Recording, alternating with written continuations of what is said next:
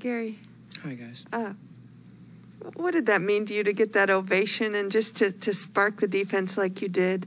Um, everybody's talking about your game tonight and just how much that, that got everybody going and that you're a defensive minded team. Uh, this, is, this is why I'm here. This is what I'm here for. You know, just to come in, uh, spark, you know, spark whatever we need spark on defensive end to get us going.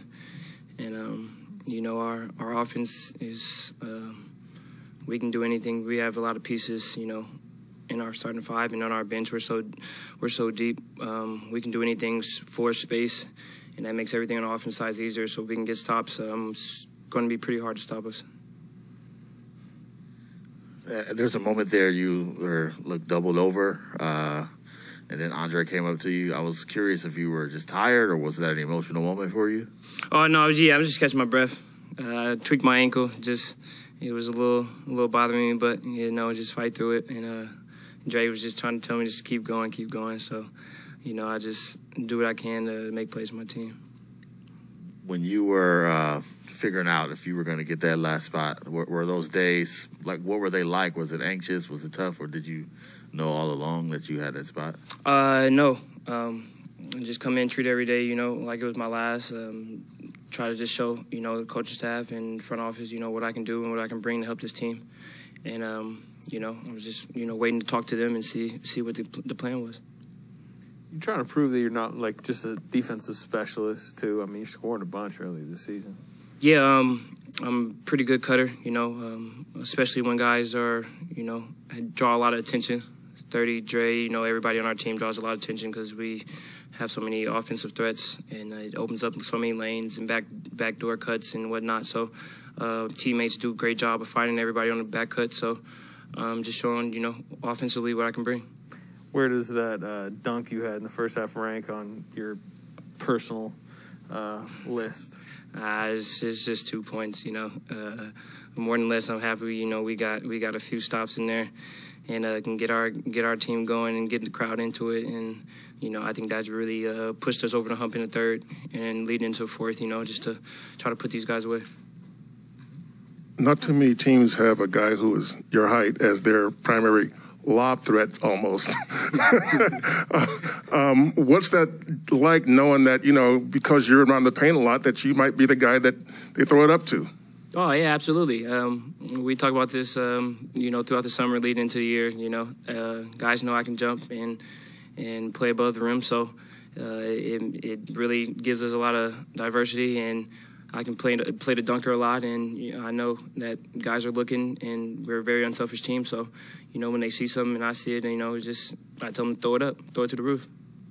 Damion said you guys spent two, three months uh, working out together up in the Oakland Hills uh, before the draft, and both have sort of kept those memories and encouraging each other throughout this journey. And, and how much has that meant to you to to have that history with him? And- uh, me and D Lee. Um, we met actually uh, that summer going into the draft, and uh, we worked out uh, night and day with uh, C. Farr, Chris Farr, and uh, you know, it's just looking back at it now.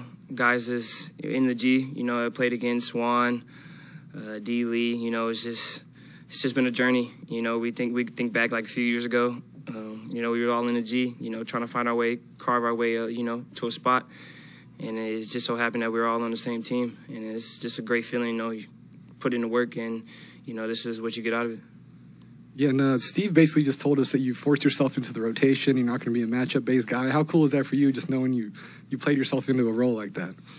Um, you know, it's great. Like I said, it doesn't matter how long, how many seconds I get, how many minutes I get. Um, just go out there and make a play for my team. You know, still be a great teammate on the bench. You know, my number's not called that night, but you know, when it's called, uh, be ready. I, I, just try to stay ready. I've been doing that for about five years now, just staying ready. And uh, when opportunity presents itself, you know, just take full advantage. Gary, I can only imagine your dad's phone was probably filling up with texts and calls after your performance tonight. Have you gotten a chance to talk to him yet? I have not talked to Gary, but um, i am sure I'll talk to him in the next few hours. did you talk to him after he won his first game? Oh, I did. I did talk to him. Um, him and my little brother are on the same team. Yep. Shout out JP. Uh, Julian's playing really well right now. So uh, you guys get a chance, check out Julian Payton uh, at Lincoln University and uh, Gary Gary's seemed like he's on the right track right now. So um, you know, I'm gonna try to catch one of the games if I can. I hope he comes down here and catch one of these games. But uh, he's doing a great job up there with those kids. GP, what's it like playing with uh, Andre Iguodala? Feels like you guys would make a a great mentor mentee pair. Uh, it's it's uh, educational. Um, he's filled with so much knowledge of the game. He's been here his 18th season. Um, he's been through it all. Uh, world champ and defensively, you know, he makes plays. He sacrifices, you know, what he does for teams, and you know, it helps them tremendously. Him, Draymond, Klay, all those guys, you know, all the vets. Belly is just, it's just a good a good guy and good players to have on your team, you know, that know the game really well, and you can pick and go to them for any advice and uh, pick their brains. Gary Klay Thompson tweeted out after the game he could he could watch you play defense like all day long. Just when when he says that about you, just what what's your reaction? I can watch Klay Thompson shoot the ball all day long, and I can't wait to watch that all game long when he gets back. Um, you know, it's just is what I do, and when he gets back, is I know that's what he's going to do. So um, when we're on the court together, I'm sure it's going to be fun.